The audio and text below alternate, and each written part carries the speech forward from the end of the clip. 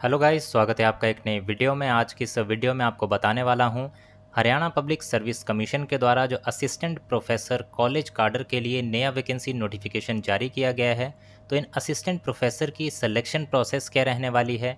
इसमें सिलेबस क्या आपको पढ़ना पड़ेगा डिफरेंट सब्जेक्ट्स के लिए? और क्या एग्जामिनेशन पैटर्न यहाँ पे इस भर्ती के लिए फॉलो किया जाने वाला है? तो इन तीन चीज़ों की यहाँ पे मैं बात करूँगा इस वीडियो में। तो इस वीडियो में अंत तक बने रहिएगा, साथ ही साथ पहली बार जो भी इस चैनल पे विज़िट कर रहे हैं, वो इस चैनल को ज़रूर सब्सक्राइब कर लें, बेल आइकन भी प्रेस कर दें ताकि इस तरह की जो वैकेंसी नोटिफिकेशन होती है ऑल इंडिया, ऑल स्टेट्स की, उनकी जानकारी आप तक सबसे पहले पहुँच सके और आप टाइमली उस एप्लीकेशन फॉर्म को फिलअप कर सकें टाइमली उसके लिए तैयारी कर सकें। साथ ही साथ जो पीडीएफ होती हैं पीडीएफ डॉक्यूमेंट डाउनलोड करने होते हैं, वो आप इजीली हमारे टेलीग्राम चैनल से कर सकते हैं। जैसे ही कोई अपडेट आती है, हम उसको अपलोड कर देते हैं टेलीग्राम चैनल पे। वहाँ से आप इजीली डाउनलोड कर सकते हैं। टेलीग्राम चैनल पे आपको जाना है टेलीग्राम पे सर्च करना है ट्रेंडिंग रोज़गार और वहाँ पे आपको ज्वाइन करेंगे चैनल को तो सारी आपको पी जो है वहाँ पर मिल जाएँगी। अब शुरुआत करते हैं इस वीडियो की। वैकेंसीज़ हैं असिस्टेंट प्रोफेसर कॉलेज कार्डर के लिए वेरियस सब्जेक्ट्स में हायर एजुकेशन डिपार्टमेंट हरियाणा में। जिसके लिए 2 अगस्त को नोटिफिकेशन जारी किया गया था, और जिसके एप्लीकेशन फॉर्म भरे जा रहे हैं एच के ऊपर।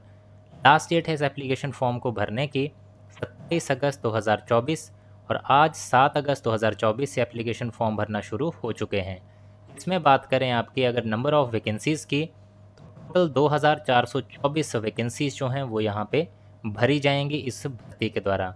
अब बात करेंगे इसके सिलेक्शन प्रोसेस की, कि आपकी भर्ती के लिए किस तरह का यहाँ पे प्रोसेस जो है फॉलो किया जाएगा। तो सबसे पहले इसमें होगा आपका स्क्रीनिंग टेस्ट अगर ज़रूरत है, यहाँ पे लिखा गया है वेयर एवर एप्लीकेबल अगर यहाँ पे बताया गया है सबसे पहले, जो है आप स्क्रीनिंग टेस्ट जो है कंडक्ट किया जाएगा बच्चों की छंटाई के लिए, जिसमें होंगे आपके सौ क्वेश्चन दो घंटे का ये पेपर आपका कंडक्ट होगा, जिसमें टोटल नंबर रहेंगे आपके सौ। हर एक क्वेश्चन एक एक नंबर का होगा, हर एक क्वेश्चन के पाँच ऑप्शंस रहेंगे, और अगर आप कोई गलत आंसर ठीक करते हैं तो ज़ीरो पॉइंट दो पाँच नंबर जो हैं आपके यहाँ पे काट लिए जाएँगे। मीडियम ऑफ़ एग्ज़ामिनेशन पे आते हैं। तो आपका पेपर जो है, इंग्लिश लैंग्वेज और इंग्लिश और हिंदी लैंग्वेज में किस किस का कंडक्ट होगा? तो इंग्लिश लैंग्वेज में कौन कौन से सब्जेक्ट के लिए पेपर कंडक्ट होगा botany computer science defence studies environmental science chemistry home science mathematics physics and zoology ये सिर्फ़ और सिर्फ़ इंग्लिश लैंग्वेज में ही पेपर लिया जाएगा। अब दो लैंग्वेज में कौन सा पेपर लिया जाएगा? यानी कि इंग्लिश और हिंदी दोनों में। तो दोनों लैंग्वेज में आपका पेपर होगा कॉमर्स के लिए economics fine arts mass communication geography history music one music physical education political science psychology philosophy and tourism के लिए।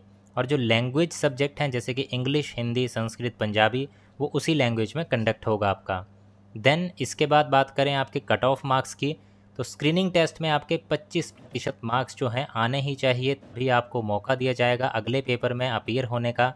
जो कि है आपका सब्जेक्ट नॉलेज टेस्ट का। तो अगला टेस्ट होगा, इसके बाद आपका सब्जेक्ट सब्जेक्ट नॉलेज टेस्ट जो कि तीन घंटे का पेपर होगा, डेढ़ सौ नंबर का टोटल पेपर कंडक्ट होगा। इसमें भी इंग्लिश लैंग्वेज में जो मैंने आपको सब्जेक्ट बताया, उनमें पेपर कंडक्ट होगा और इंग्लिश और हिंदी लैंग्वेज में जो सब्जेक्ट बताया, उनमें कंडक्ट होगा और लैंग्वेज सब्जेक्ट है, उनका उसी लैंग्वेज में पेपर कंडक्ट किया जाएगा। अब इस पेपर में आपके पैंतीस प्रतिशत मार्क्स आना जो है वो ज़रूरी है, तभी आपको बुलाया जाएगा इंटरव्यू के लिए। इंटरव्यू की वेटेज रहेगी पूरी सिलेक्शन प्रोसेस में बारह पॉइंट पाँच प्रतिशत की, यानी कि साढ़े बारह परसेंट की। और जो आपका सब्जेक्ट नॉलेज टेस्ट है, जो दूसरा पेपर हुआ है आपका, उसकी वेटेज रहेगी पूरी सिलेक्शन प्रोसेस में साढ़े सतासी परसेंट की। तो सबसे ज़्यादा वेटेज है आपकी सब्जेक्ट नॉलेज टेस्ट की तो इसकी तैयारी आपको अच्छे से करनी है ताकि ज़्यादा मार्क्स आप ला सकें। और जो फाइनल मेरिट लिस्ट बने, उसमें आप जो कट ऑफ़ होगी, उसको क्लियर कर पाएँ। स्क्रीनिंग टेस्ट के नंबर आपके कहीं भी ऐड नहीं होंगे फाइनल मेरिट लिस्ट बनाने में। उसमें सिर्फ़ और सिर्फ़ आपको क्वालिफाई करना है ताकि आप नेक्स्ट स्टेज में जा पाएँ। अब बात आती है जो डिफरेंट डिफरेंट सब्जेक्ट हैं। जैसे केमिस्ट्री हो गया कॉमर्स हो गया इकोनॉमिक्स हो गया तो इनका अलग अलग जो सिलेबस है वो कहाँ से हमें लेना है? तो इसके लिए आप इनकी वेबसाइट पे भी जा सकते हैं। पहला ऑप्शन ये है, जो इनकी वेबसाइट है, वहाँ पे भी आप जा सकते हैं। ये देखिए, ये वेबसाइट है इनकी। H P S C dot G O V dot in पर पहले जाना है देन यहाँ पे ये सिलेबस का ऑप्शन है, यहाँ पे क्लिक करके आप सब्जेक्ट वाइज जो है मिस्ट्री का कॉमर्स का computer science defence studies economics English fine arts सारे सिलेबस यहाँ पे दे रखे हैं। इंडिविजुअली जो आपका सिलेबस आपका सब्जेक्ट है, उसका सिलेबस आप यहाँ से डाउनलोड कर सकते हैं। या फिर हमारे टेलीग्राम चैनल पे जाइए, हमने हर एक सब्जेक्ट का जो है सिलेबस वहाँ पे अपलोड किया हुआ है, वहाँ से आप इजीली डाउनलोड कर सकते हैं। तो ये था गाइज़ आज की इस वीडियो में। अगर आपको ये सारी जानकारी अच्छी लगी हो तो इस वीडियो को लाइक ज़रूर करें, शेयर ज़रूर करें अपने दोस्तों के साथ। और इसी तरह की जानकारी आगे भी आप पाना चाहते हैं तो चैनल को ज़रूर सब्सक्राइब करके जाइएगा और बेल आइकन भी प्रेस कीजिएगा। So thank you guys for watching this video. मिलेंगे इसी तरह की नेक्स्ट वीडियोज़ में।